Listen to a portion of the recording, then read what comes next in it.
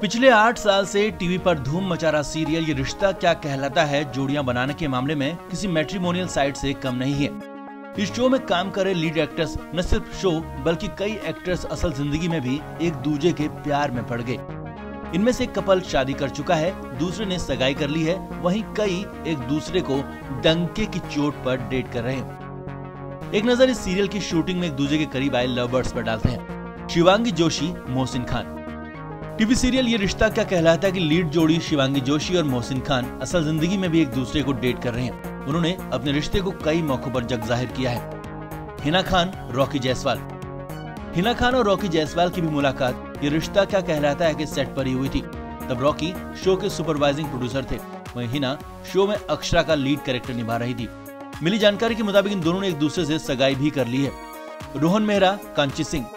रोहन मेरा और कांची सिंह ने टीवी सीरियल ये रिश्ता क्या कहलाता है में भाई बहन का किरदार निभाया था। लेकिन ऑफ़ स्क्रीन ये दोनों एक दूसरे को डेट कर रहे थे। रोहन के शो छोड़ने के बाद कांची ने भी सीरियल में काम करने से मना कर दिया था। अंशुल पांडे, प्रियंका उद्वानी टीवी सीरियल ये रिश्ता क्या कहलाता है में अंशुल पांडे ने नैतिक और प्रियंका करिश्मा का किरदार निभा रही थी। दोनों सीरियल में साथ काम करते करते एक दूसरे के करीब आ गए। पिछले दो सालों से वो एक दूसरे को डेट कर रहे हैं। ऋषि देव मोहेना सिंह। टीवी सीरियल ये रिश्ता क्या कहलाता है? में ऋषिदेव नक्श का किरदार निभा रहे हैं। वहीं मोहिना सिंह उनकी पत्नी कीर्ति का रोल कर रही हैं। बताया जा रहा है कि दोनों रियल लाइफ में भी एक दूसरे को डेट कर रहे हैं। इनके सोशल मीडिया पोस्ट भी इस बात का इशारा करते हैं। हालाँकि दोनों ने इसे अफवाह करार दिया है। लता सब्बरवाल, संजीव सेठ।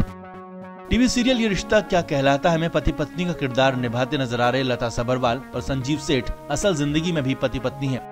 इन दोनों की मुलाकात भी इसी सीरियल के सेट पर हुई थी। आपको बता दें कि संजीव की दूसरी शादी है। इससे पहले उनकी शादी टीवी एक्ट्रेस रेशन टिप्पणी से हुई थी और उनके दो बड़े बच्चे भी हैं।